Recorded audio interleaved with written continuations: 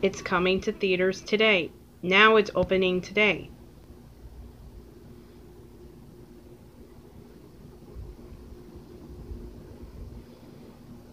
And this is better than Incredibles 2 and Hotel Transylvania 3.